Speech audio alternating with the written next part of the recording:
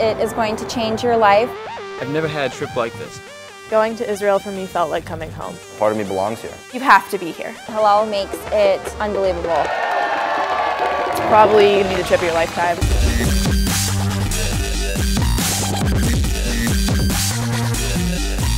Jerusalem is the epicenter of Judaism. I've been dying to come to the Holy City. Tel Aviv provides this modern culture. There are museums, there's art galleries, there's the beach. Meeting our Israeli soldier counterparts. Oh my god, I'm at the Dead Sea. You gotta have them, all the mud on yourself and your feet are floating and it's that's a pretty unreal experience. Riding a camel through the south. You have so many different places to travel and such different topography.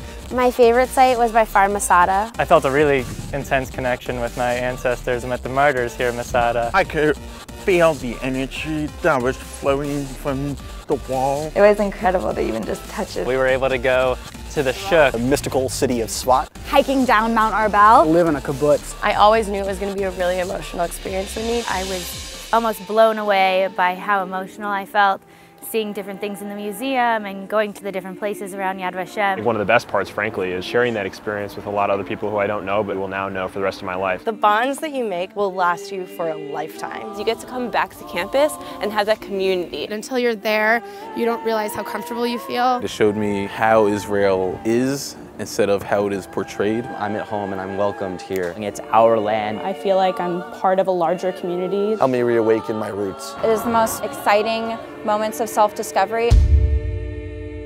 Israel. If not now, when? Israel is your birthright.